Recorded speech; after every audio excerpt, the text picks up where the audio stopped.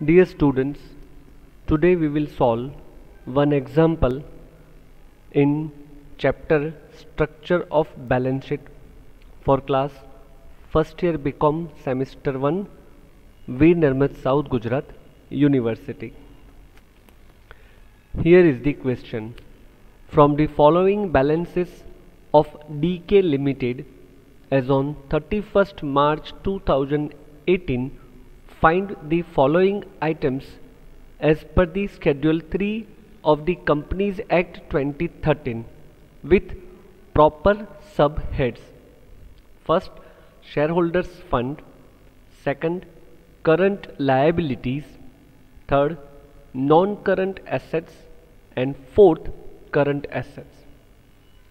Particulars of financial data loose tools computer software advertisement suspense account accrued interest on investments office equipments equity share capital mortgage loan creditors creditors for expenses staff welfare fund machineries 12% investments in D Limited stores and spare parts cash in bank debtors 8% preference share capital general reserve bills payable cash credit and provision for taxation.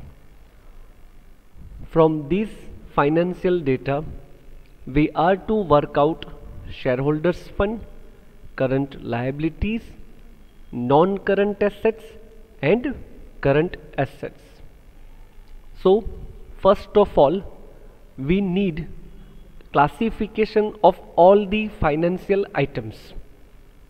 And then we will work out our required calculations.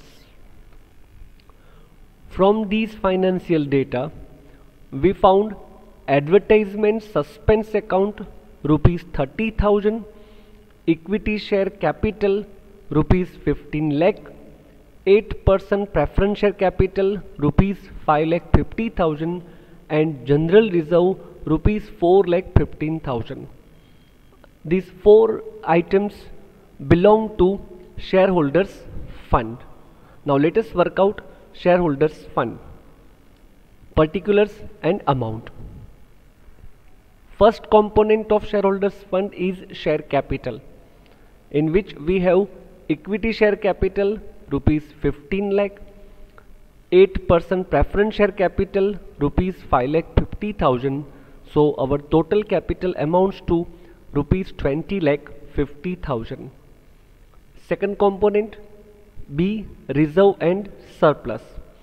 In these financial data we have general reserve 4 lakh 15000 and advertisement suspense account 30000 Dear students, advertisement suspense account is a fictitious assets of the company and while calculating reserves and surplus it will be considered as unamortized advertisement suspense account and will be deducted from reserves.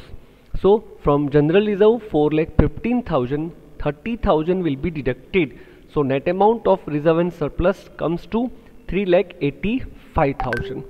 There is no other information related to shareholders fund.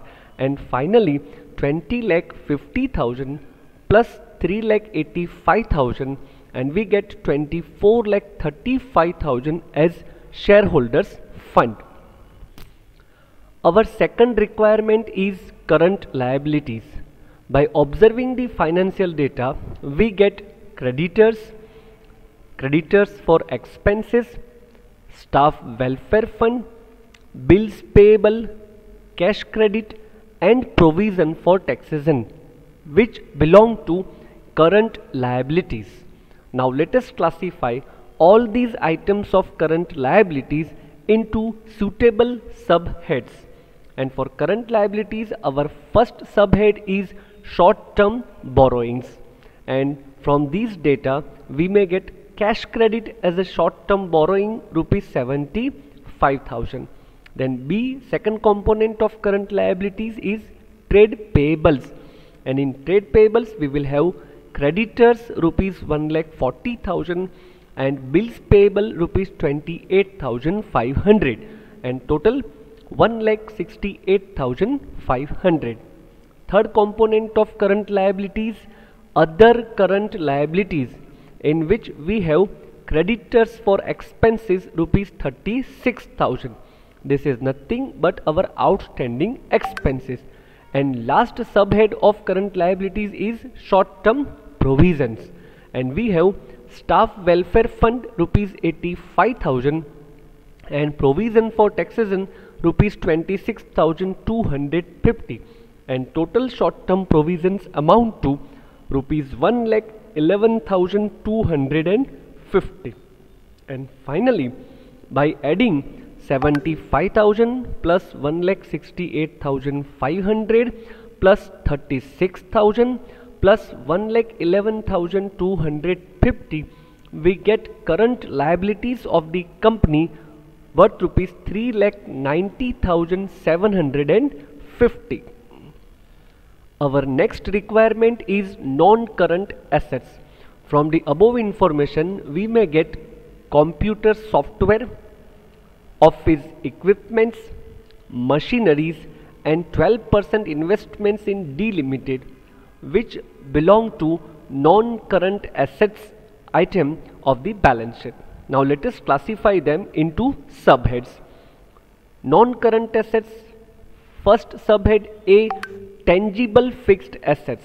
And we have machineries worth rupees 18 lakhs and office equipments worth rupees 4 lakh 80,600 and there is no other information like depreciation for machinery or office equipments. Otherwise we would deduct that depreciation from value of the assets. And finally we get tangible fixed assets rupees 22 lakh 80,600 now second subhead is intangible fixed assets.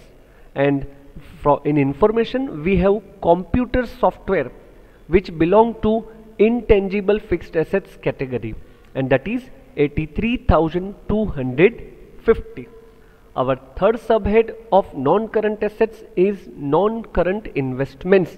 And we have 12% investments in D Limited rupees 2 lakh 40 5000 and now by adding tangible fixed assets 22 lakh 80600 plus intangible fixed assets 83250 plus non-current investments rupees 2 lakh 45000 we get total non-current assets rupees 26 lakh 8850 our last requirement is current assets and in financial data we have loose tools, accrued interest on investments, stores and spare parts, cash in bank and debtors which belong to current assets category. Now let us classify them into different subheads. Our first subhead for current asset is current investments and there is no information so it is nil. Our second subhead is inventories and for inventories we have loose tools rupees 1 lakh 63000 stores and spare parts rupees 1 lakh 200 so total amount of inventories 2 lakh 63200 next subhead is trade receivables. And we have debtors rupees 1 lakh 90000 and there is no bills receivable so our trade receivable total amounts to rupees 1 lakh 90,000.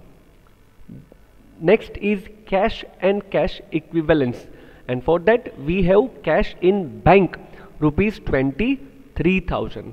Our next subhead is other current assets and for that we have accrued interest on investments rupees 51,000.